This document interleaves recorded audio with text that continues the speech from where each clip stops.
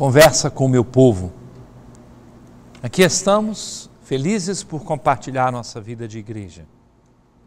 Aliás, se somos cristãos, estamos sempre felizes.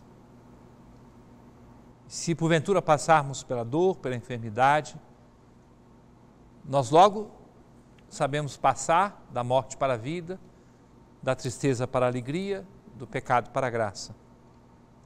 Faz parte do dinamismo de vida cristã. Se vivermos efetivamente o Evangelho, se formos capazes de colocar em prática a mensagem de Cristo, certamente saberemos sempre sair da tristeza para a alegria. E com esta alegria da nossa fé, que nós vivemos a quaresma, que está por terminar. E neste final de quaresma, eu quis e hoje completamos esta série de conversas a respeito do sacramento da penitência. Sacramento que vem a ser celebrado de forma muito especial durante esse tempo da quaresma. Sacramento que está marcando, pontuando muito a vida das nossas paróquias com a presença de sacerdotes que em mutirão atendem o povo de Deus para o sacramento da penitência em preparação para a Páscoa. Tenho a certeza de que chegaremos à Páscoa melhores, melhores pela graça de Deus, melhores pelo reconhecimento da necessidade que temos dessa misericórdia de Deus. Aproveito para fazer um convite àquelas pessoas que há muito tempo não buscam o sacramento da penitência que não deixem de experimentar nesses dias a hora da graça, buscando a reconciliação no sacramento. Deus sempre vem ao seu encontro, caro irmão, cara irmã, com a sua misericórdia, com a sua bondade. Celebrar o sacramento do perdão é deixar que esse selo do amor pessoal de Deus nos seja proclamado. E temos, como ensinava o beato João Paulo II, temos o direito pessoal de que um sacerdote nos diga este amor que vem do próprio Deus. Nosso Senhor deixou um sacramento.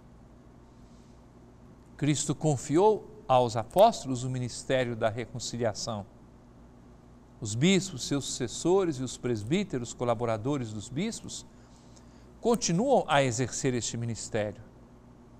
Os bispos e presbíteros é que tem, em virtude do sacramento da ordem, o poder de perdoar todos os pecados, em nome do Pai, do Filho e do Espírito Santo. Já observei anteriormente que Deus tem infinitas formas de tocar no coração das pessoas e de perdoar.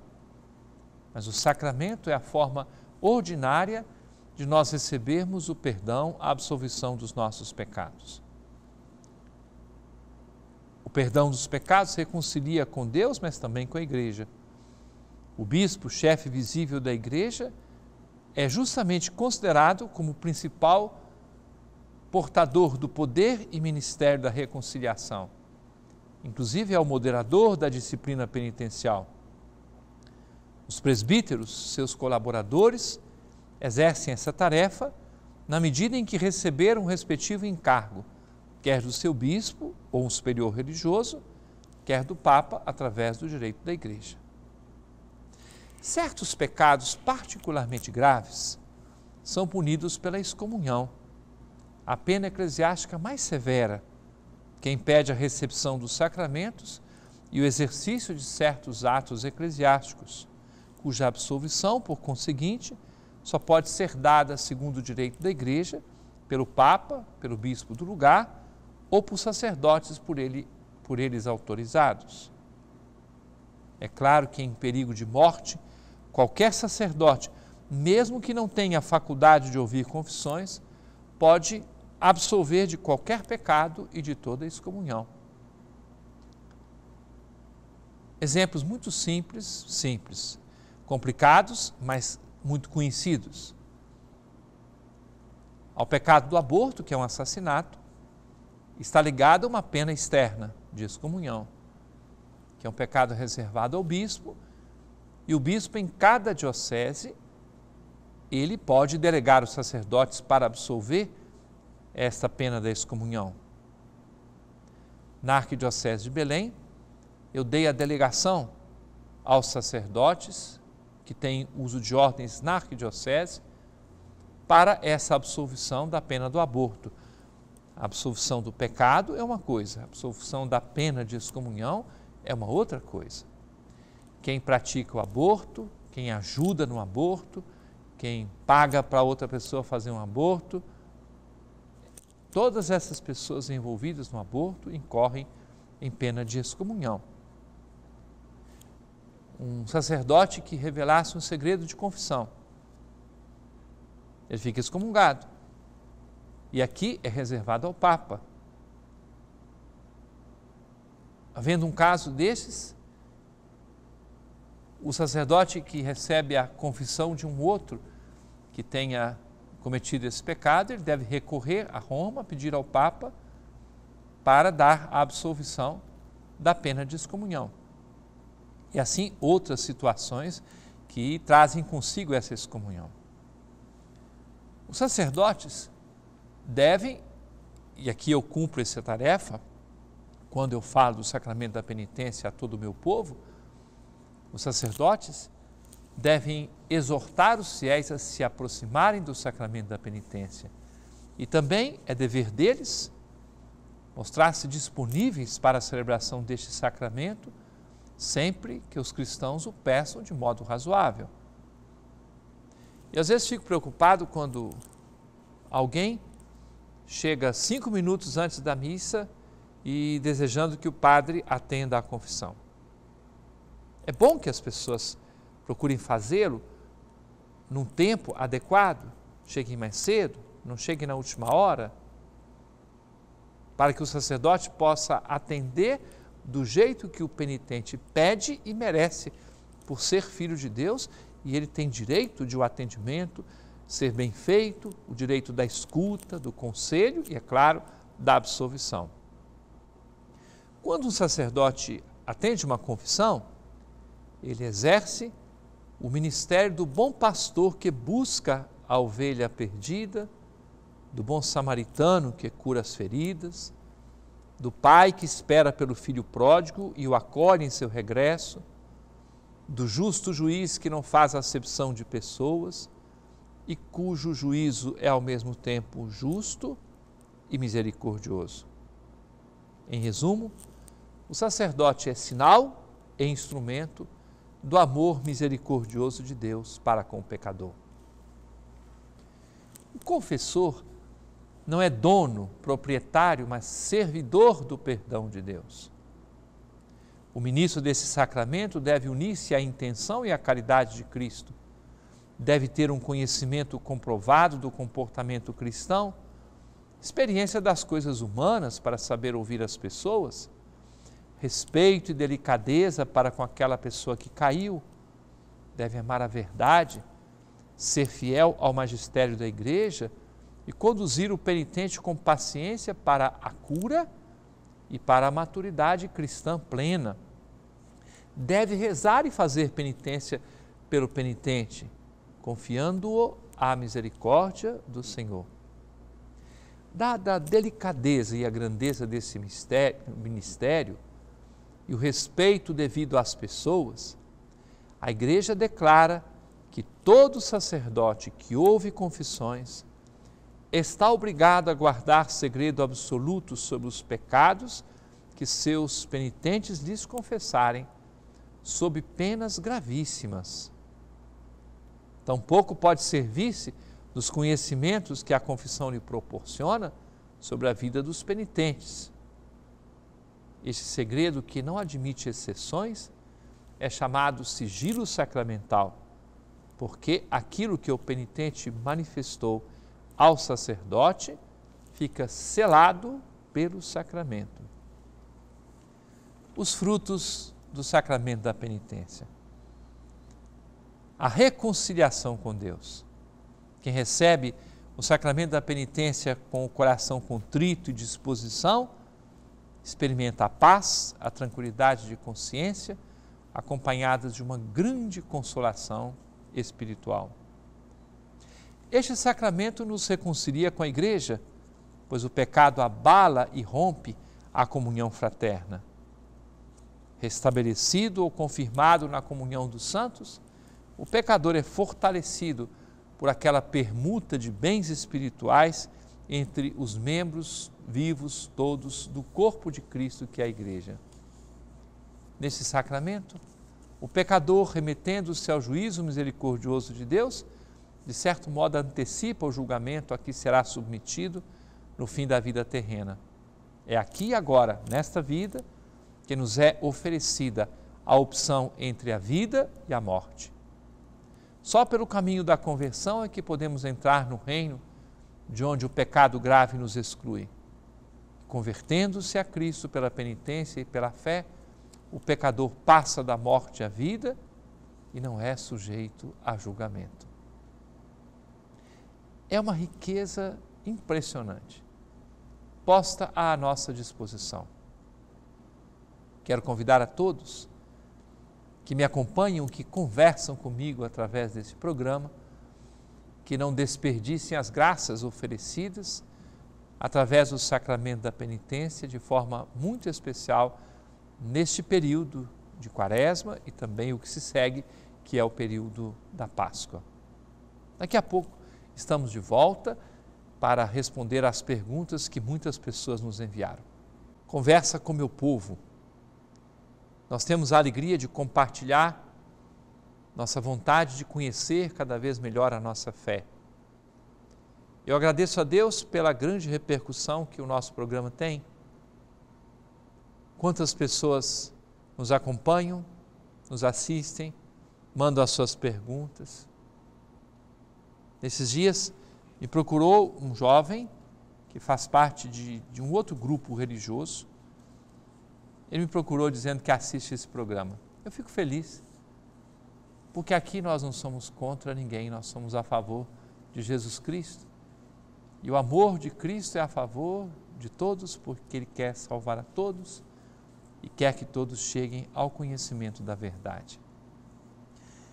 Quero recordar a todos, especialmente aos jovens, aos jovens crismandos deste ano, no próximo domingo, que é o Dia Mundial da Juventude, que se celebra sempre no domingo de Ramos, quando o Papa, em sua mensagem, faz o convite a que vivamos na alegria, alegremos-nos sempre no Senhor Daremos a nossa resposta juntos no próximo domingo, a partir das 14 horas, no Centro Arquitetônico Nazaré, em frente à Basílica, ali na concha acústica, nós teremos um encontro da juventude de nossa arquidiocese, especialmente dos crismandos deste ano. É o encontro que no domingo de Ramos à tarde sempre acontece do bispo com este grupo maravilhoso dos que recebem o sacramento da crisma durante aquele ano.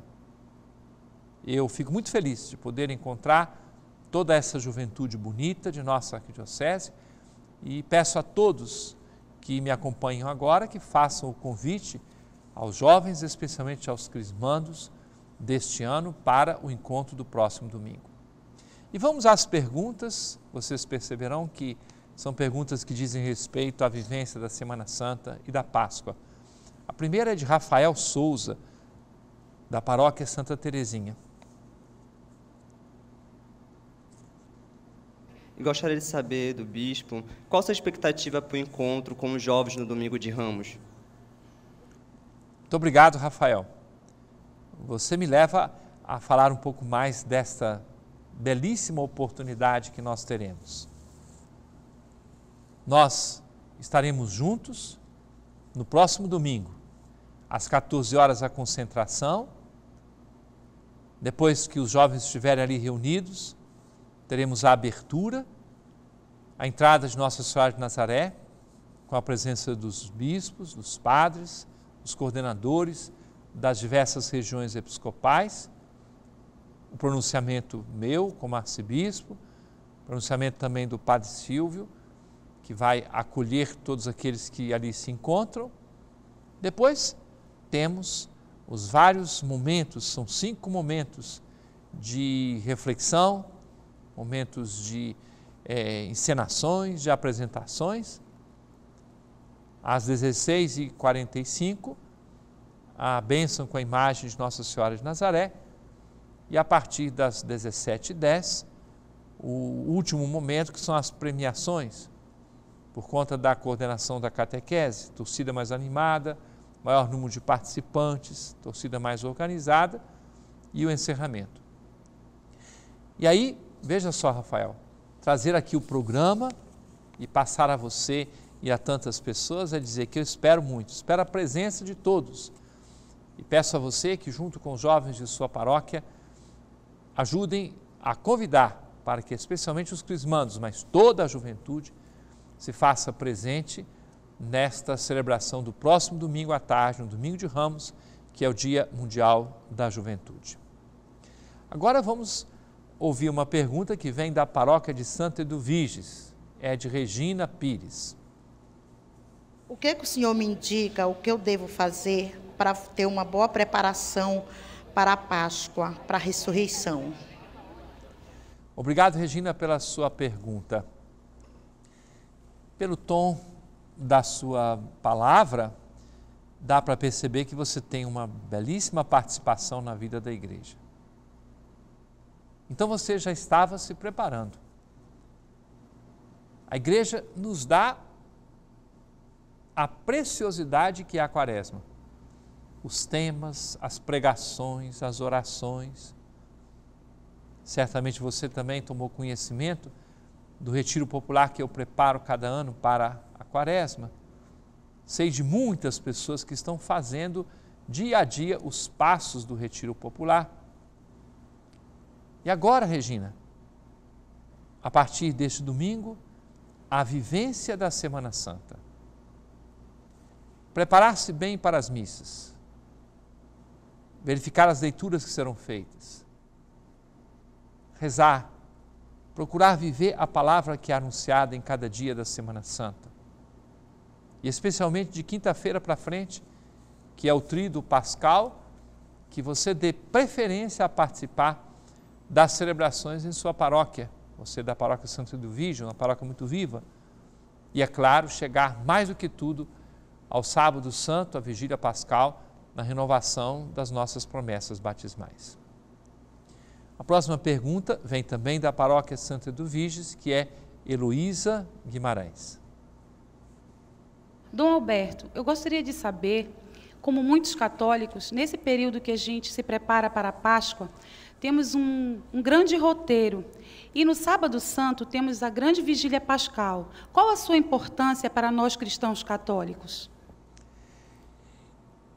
Heloísa, a vigília pascal é a grande celebração, a mãe de todas as vigílias, de todas as celebrações. É o coração da vida da igreja. O desejo que eu tenho no coração é que nenhum católico falte à vigília pascal. Nós temos 73 paróquias. Várias paróquias com mais de um sacerdote. Então não quer dizer que sejam só 73 e três vigílias pascais. Várias comunidades têm a sua celebração de vigília pascal. Nós temos um número muito grande de locais em que se celebra a vigília pascal. Temos inclusive comunidades mais distantes das igrejas que fazem com a celebração da palavra a modo que lhes é possível a celebração da vigília pascal. Quais são as partes dessa celebração? A primeira parte chama-se Liturgia da Luz, Sírio Pascal, luzes apagadas, o Sírio aceso, sinal do Cristo ressuscitado. Segunda parte, Liturgia da Palavra, fazer memória de todos os acontecimentos da história da nossa salvação. Depois de algumas leituras, então, o Glória, que é retomado na noite de Páscoa, a oração do dia, a leitura do Novo Testamento e o Aleluia. Deixamos o Aleluia antes da quarta-feira de cinzas e agora retomamos. É tão bonito quando a igreja nos faz retomar o canto do aleluia. Depois, evangelho, homilia. Aí entramos na liturgia batismal, a liturgia da água. A bênção da água batismal e a renovação das promessas do batismo. Em várias igrejas temos também a celebração dos sacramentos da iniciação cristã, todos com as velas acesas nas mãos, renovando a sua fé. Terminada essa liturgia, a última parte, que é o coração mais importante de tudo, que é a liturgia eucarística. Dessa forma, esta vigília, ela é a mãe, modelo, referência de toda a liturgia da igreja. Renovo o meu convite a que nenhum católico deixe de participar da vigília pascal. A próxima pergunta é de Gabriela Freitas, da paróquia do Bom Remédio. Como o jovem deve viver este tempo de quaresma, que pede jejum, caridade e oração? Gabriela, durante toda a quaresma, a igreja repetiu, e eu me recordo de ter repetido várias vezes, a insistência nesses três pontos: o jejum, a penitência, a mortificação, educam o nosso corpo, a nossa vontade, os nossos impulsos. A oração estabelece o nosso relacionamento com Deus, a intensidade do relacionamento com Deus. A fraternidade, a caridade, purifica o relacionamento que temos com os outros. São três formas privilegiadas. Você pergunta como um jovem pode viver isso? De forma muito especial, o jovem, a jovem, porque vocês jovens têm uma generosidade fora do comum uma capacidade de entender as coisas em primeira pessoa. O Papa Bento XVI, na sua mensagem para o próximo domingo, do Dia Mundial da Juventude, ele se refere a exemplos muito importantes. Ele se refere à beata Chiara Lute Badano, uma gen do Movimentos Focolares que foi beatificada no ano passado, no ano de 2010, e é impressionante como o Papa recolhe a força com que essa jovem ofereceu a sua enfermidade, não se deixou abater, não deixou a tristeza tomar do seu, conta do seu coração, foi corajosa diante da dor, manteve-se na oração, na caridade, na fraternidade com os irmãos. Só para dizer um exemplo que eu colocarei em relevo também no próximo domingo, no encontro com a juventude. Enfim, Fica o meu convite a todos, todos, todos, a uma vivência muito profunda e muito bonita da Semana Santa. No próximo programa, ainda descreveremos os passos a serem percorridos durante a Semana Santa. Mas o meu convite, a minha palavra de estímulo a que todos vivamos e muito bem esses dias de graça que se aproximam. Abençoe-vos o Deus Todo-Poderoso, Pai Filho e Espírito Santo. Amém.